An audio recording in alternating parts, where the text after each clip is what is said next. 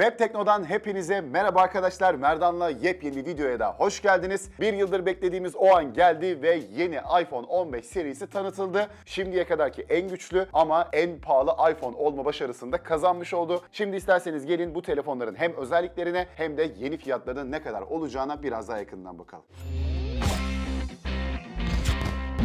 iPhone 15 ve 15 Plus'tan başlayayım arkadaşlar. İlk olarak onlar tanıtıldı. Tasarımına baktığımızda iPhone 15 6.1 inç ile gelirken 15 Plus ise 6.7 inç ile geldi. Yani her zamanki gibi olmuş aslında. Görünüm olarak baktığımızda iPhone 14 serisiyle neredeyse aynı tasarıma sahip. Sadece kenarlarının çok hafif böyle biraz da oval olduğunu söyleyebilirim. Tabi seriye özel farklı renkler de geldi. İşte pembe, sarı, yeşil, mavi ve siyah renkler sergilendi. Bunların içinden sizin favorinizi de merak ediyorum. En çok merak edilen noktalardan birisi ise Lightning girişi kalkacak mı, Type-C gelecek mi konusuydu. Ve beklenen oldu arkadaşlar. Type-C girişler iPhone 15 ile birlikte Apple tarafında da hayatımıza girmiş oldu. Hatta bugünden sonra Type-C ile şarj olan AirPods'lar da üretilmeye başlayacak. Tasarım tarafında çok fazla yenilik yok açıkçası ama kameraya baktığımızda hiç fena olmayan güzellikler var. Kamera tarafı geçen senekinin aynısı gibi görünüyor. İki kameralı setin ana kamerası 48 megapiksel çözünürlüğe ve f1.6 diyafram açıklığına sahip. Burada Apple'ın en büyük vaadi %100 isteğe odaklanmış piksellerle daha net ve daha kaliteli görüntüler sunmak. Ayrıca yeni nesil bir portre teknolojisi sunulacak ve bu teknolojiyle birlikte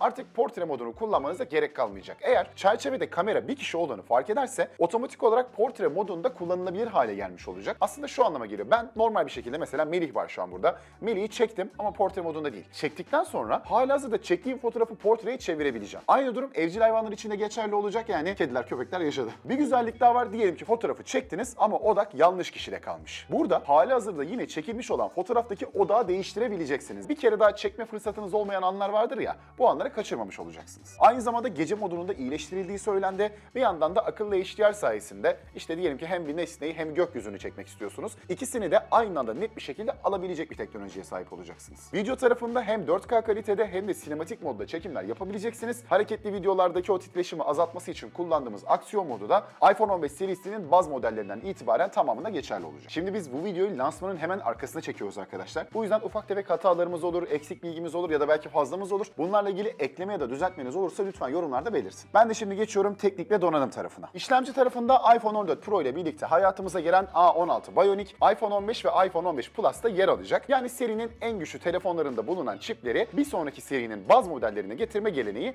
burada da devam etmiş oluyor. Batarya tarafında ise lansmanda henüz net bir bilgi paylaşılmadı. Muhtemelen önceki modellerden çok da farklı olmayacak. Sadece düz 15'in bir günü rahat çıkarabileceği 15 Plus'ın da daha büyük olduğu söylendi. Bununla ilgili eğer net bir bilgi geldiyse zaten şu an videoda görüyorsunuzdur ya da açıklamada görürsünüz ya da lütfen siz yazın. Ayrıca SOS ve uydu bağlantısı özelliğinin de daha fazla ülkede kullanılabilir hale geleceği söylendi. Ama bu ülkelerin hangileri olacağı belli değil. Ben Türkiye'nin henüz dahil olmayacağına eminim de. Ama eğer bu ülkelerde yaşıyorsanız ve bir iPhone 15 alırsanız 2 yıl boyunca uydu bağlantısı özelliğini ücretsiz olarak kullanabileceksiniz. Ayrıca arama tarafında ses kalitesinin iyileştirildiği söylendi. Eğer yanlış anlamadıysam bunun için ses yalıtım modu diye bir mod olacak. Bunu aktif hale getireceksiniz. Bu da işte gürültü azaltma ya da sizin sesinizi öne çıkarma gibi özellikleri size otomatik olarak sunacak ve bunu günlük hayatta kullanabileceğiniz söylendi. Muhtemelen bunu bir kere aktif edeceğiz ve öyle kalacak hayatımızda. Ekran tarafında ise OLED Super Retina XDR ekranla geldi iPhone 15 ve iPhone 15 Plus. En yüksek HDR parlaklığı 1600 nit olacak ve açık havada ulaşabileceği en yüksek parlaklık da 2000 nit olarak belirlenmiş. Bu da aslında iPhone 14'ten iki kat daha fazla olduğu anlamına geliyor. Ayrıca iPhone 14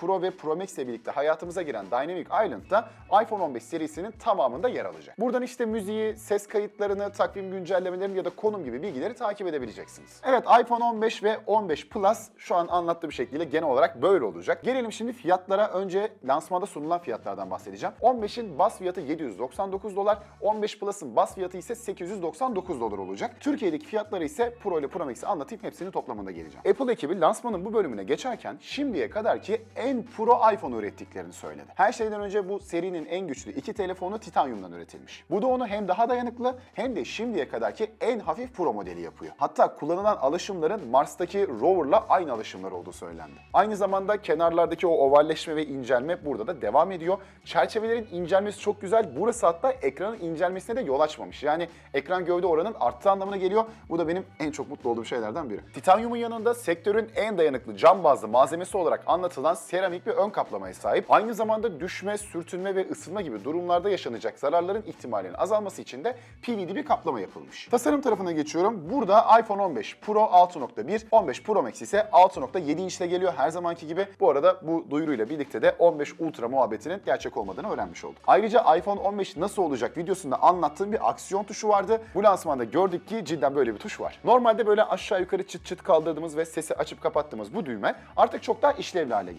Düz basmalı bir düğmeye döndü ve buna atadığımız görevleri yerine getirecek. Ne bileyim işte tek dokunuşla sesli notları açabileceksiniz, kamerayı açabileceksiniz ya da işte feneri falan açabilirsiniz. Ama bunları yapmak için de iOS 17 güncellemesine sahip olmanız gerekiyor. Bu tuşla başka neler yapılabileceği muhabbeti muhtemelen ilerleyen günlerde belli olur. Hatta yeni güncellemelerle daha işlevli hale getirilir diye düşünüyorum. Ekran tarafında iki üründe OLED ve 120 Hz yenileme hızına sahip. Always on display özelliği de yine bu ürünlerde geçerli olacak. Ayrıca kenarlardaki ovalleşme ile birlikte çerçeveler de bu cihazda inceltilmiş yani ekran gövde oranı artmış oldu yine. İşlemci tarafında ise şimdiye kadarki en güçlü çip olduğu söylenen A17 Pro yer alacak. Bununla birlikte de ilk kez bir çip 3 nanometre boyutuna kadar düşmüş oldu. 6 çekirdekli olan bu işlemci 2 performans 4 de verimlilik olarak ayrılmış durumda. Ve saniyede 35 trilyona kadar işleme yapabilecek. RAM kapasitesi ise 8 GB bu Pro ve Pro Max'e de aynı. Ayrıca genel toplam anlatılırken de önceki işlemciden yine 2 kat daha hızlı olduğu söylendi. Kağıt üzerinde baktığımızda gerçekten çok güçlü bir işlemci gibi duruyor arkadaşlar ama tabii yine bir elimize alıp denemek gerek. Buna ek olarak da oyun deneyimini arttırmak için Ray Tracing gibi teknolojiler yenilendi ve güçlendirildi. Ve bu işlemci sayesinde Resident Evil 4 gibi konsol oyunları da iPhone 15 Pro ve üzerindeki seride oynanabilecek. Hatta Assassin's Creed Mirage'ın konsol versiyonu bu telefonda oynanabilecek. Yani bu gidişle el konsollarına birkaç yıla komple veda etmiş olacağız. Şarj tarafında ise USB 2.0'dan tam 20 kat daha güçlü olan USB 3.0 kullanılacağı söylendi. Bu sayede aktarımızı çok güçlü olurken telefonda 35 Watt'a kadar hızlı bir şekilde şarj olabilecek. Bu arada 3.0'ın güzellikleri Pro ve Pro Max'te anlatılırken öne sürüldü. Yani bu da sanıyorum 15 ve 15 Plus'ta USB 2.0 göreceğimiz anlamına geliyor. Yine iPhone 15 nasıl olacak videosunda anlatmıştım ve korktuğumuz başımıza geldi gerçekten. Geçiyorum kamera tarafına. Buranın girişi de cebimizde 7 kamera merceğine eş değer bir kamera bulunduğu şeklinde yapıldı. 3 kameralı set içinde f1.8 diyafram açıklığına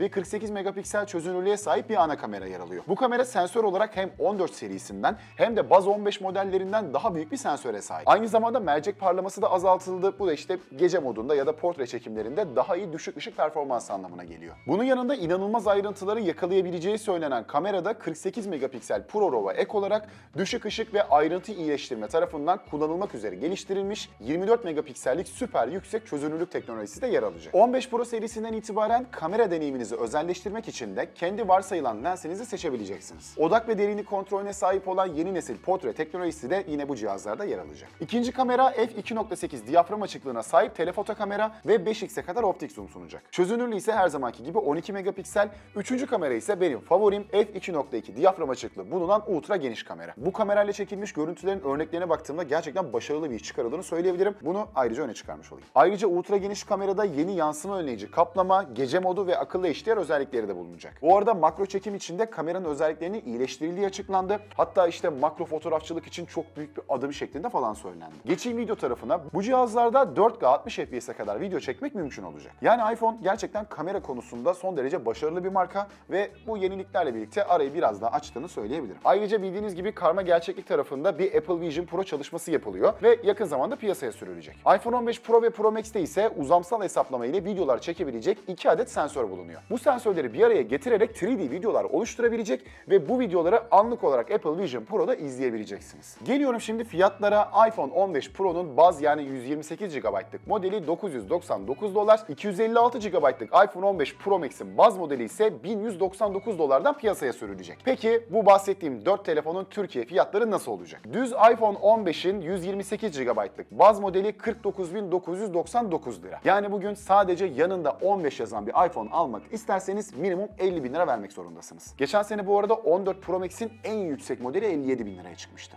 iPhone 15 Plus'ın 128 GB'lık baz modeli ise 56.999 lira. Geçiyorum şimdi iPhone 15 Pro'ya. Bu modelin 128 GB'lık baz versiyonunu alırsanız 64.999 lira ödemeniz gerek. Maksimumu da 84.999 bu arada. Ve şimdiye kadarki en pahalı iPhone dediğimiz iPhone 15 Pro Max'in 128 GB'lık baz modeli 76.999 lira. 1 TB'lık modelini söyleyeyim. Alabileceğiniz en pahalı iPhone, iPhone 15 Pro Max'in 1 TB'lık versiyonu 92.999 lira yani 93 bin lira. iPhone fiyatları artık 100 bin liraya dayanmış durumda arkadaşlar. Şimdi bu telefonu nasıl buldun derseniz gerçekten kamera ve işte işlemcinin gücü anlamında, yenilikler anlamında okey denebilir ama açıkçası iPhone 15 Pro Max alacağıma iPhone 14 Pro alırım. Bunu söyleyeyim. Ama işte telefon fiyatlarının 100 bin liraya dayandığı bir ekonomide açıkçası böyle bir önerme yapmak da bana çok doğru gelmiyor. Çünkü ben dahi birçoğumuzun alamayacağı bir telefon bu. Hatta yurt dışından alsak bile Türkiye'de bunu işlememiz 20 bin liraya patlayacak bize.